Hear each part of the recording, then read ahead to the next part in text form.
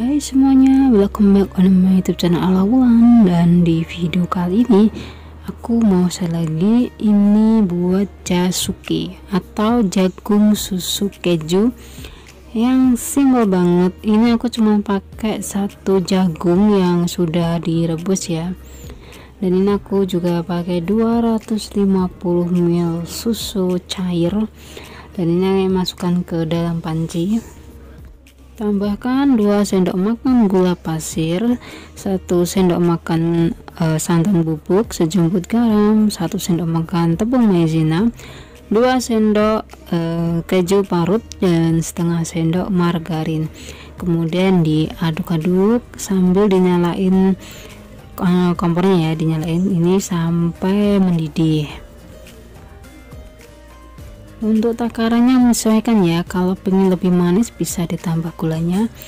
Dan untuk santan bubuk jika tidak ada atau tidak suka juga bisa di skip nah menunggu ini mendidih ya dan masak.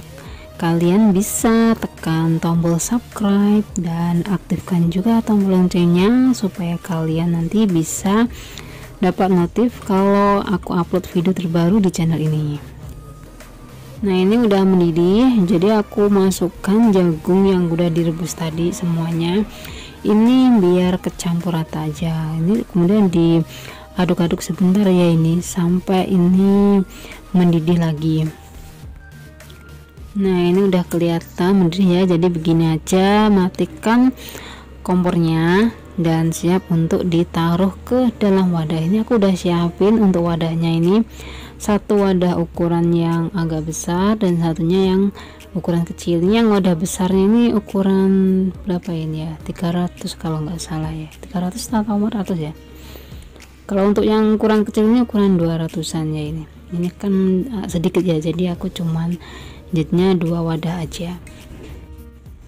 Nah ini aku mau kasih topping keju parut ya dua-duanya habis itu nanti bisa taruh di kulkas sebentar di bagian chillernya gitu.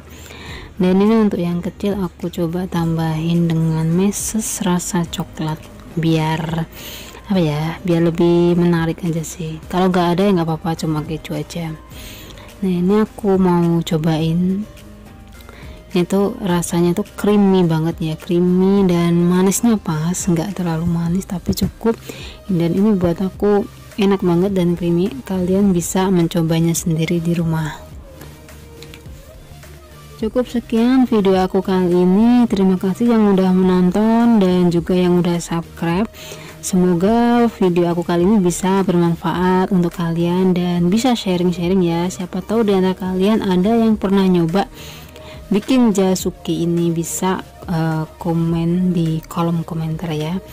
So thank you for watching dan see you di next video aku berikutnya ya. Selamat mencoba